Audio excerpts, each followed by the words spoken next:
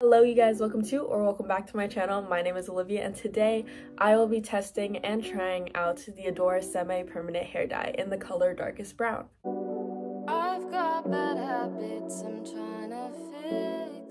This is what it looks like. I've heard a lot of good things about this brand. I picked it up at my local beauty store and I will be trying it for you guys today. This is vegan and cruelty free and this is for fluid ounces. I do not think I'm going to be using the whole bottle because I did cut my hair. First step is to shampoo and towel dry my hair and I will do that right after I show you guys what my hair is looking like now so that you guys can get a good idea of what we are working This is how my hair looks currently. As you can tell, the roots are definitely growing in and it's just kind of like the color is fading from the bubble dye but yeah, this is what we are working with. So the next step I'm doing is putting Vaseline on like my hairline right here and also on my ears, anywhere where I don't want to get dyed.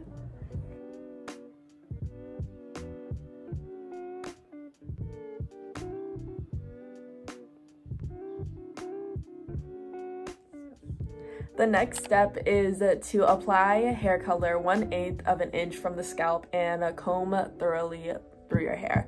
So what I plan to do is I plan to just section off my hair, start from the bottom and then go upwards. And I'm going to use this brush, but I might just switch to using my fingers because I will be wearing gloves.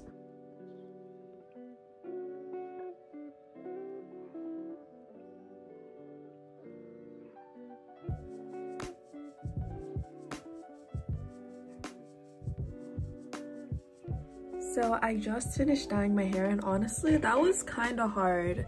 I feel like it was very hard to coat the hair evenly because of how liquidy the consistency was. I think I used, I want to say, three-fourths of the bottle, but I'm gonna let this sit in this plastic bag. And the reason for the plastic bag is because it like traps heat I don't, I don't really know. I just know it traps heat and like it heats up your hair or whatever.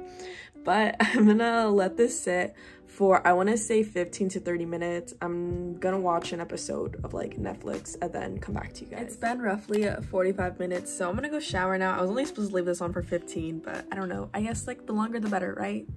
I don't, um, okay, I'm gonna go shower. I'll be back. Hello you guys, it is the next day and I thought I'd show you guys my hair. I just got done working out, but this is how my hair looks right now. There's still a lot of brown spots in my hair, especially in my root area, but the ends of my hair are completely dyed black. It's just more so the top section. And I think that could be because of how I applied it even though I like did it by the instruction maybe I was supposed to do it a different way and I just didn't know but yeah, this is how my hair looks. You can still definitely tell that there was brown in my hair before, but I think it is a lot better. It's just fairly patchy. This is how my hair looks.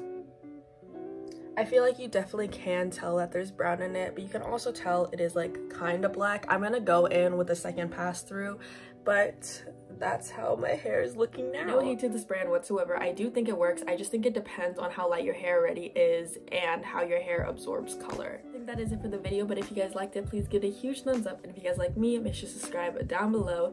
Here are my social medias, and I will see you guys next time. Bye!